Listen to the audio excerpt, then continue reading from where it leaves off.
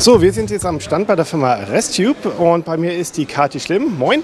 Hallo. Kati, ihr habt bei euch auf dem Stand so kleine schwarze Verpackungen, ähm, die in der Wasserrettung oder auch privat durchaus nützlich sein können.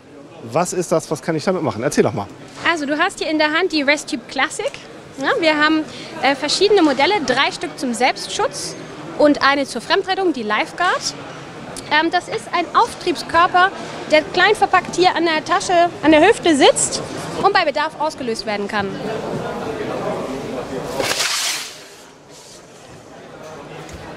Da stecken 75 Newton drin.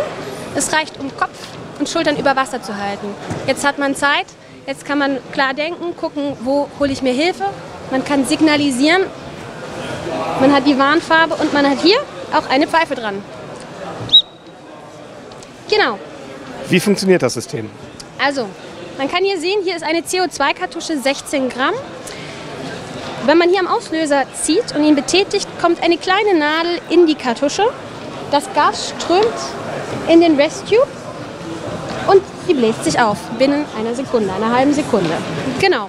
Wir haben hier auch noch ein Mundventil, das heißt, man kann manuell Luft ablassen oder entsprechend wieder hineinpusten. Ähm, weiterhin in der Tasche, in der Hand trägst, sehen wir, man kann sie sowohl horizontal als auch vertikal am Körper befestigen. Hier beispielsweise trage ich die Lifeguard für die Fremdrettung äh, horizontal. Der Auslöser zeigt nach unten.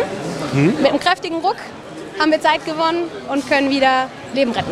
Was ist denn der Unterschied zwischen der Lifeguard-Version und der, ich sag jetzt mal, zivilen Version davon?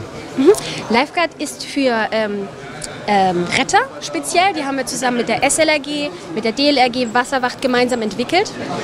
Es entstand das erste Produkt, diese gerade Boje, die dann später in der ähm, Lebensretterversion gekrümmt mit vier Ösen, die man dann um den zu Rettenden legt, ja, entstanden ist. Gemeinsam treten wir ein für mehr Sicherheit und Freiheit im Wasser.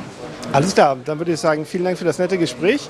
Und ähm, wir hoffen, dass natürlich niemandem etwas passiert und dass man das nie nicht gebrauchen muss, weil äh, solche Lagen gerade auf dem Wasser, Wasser hat keine Balken, ganz Aber immer gruselig, dabei hat. immer dabei hat.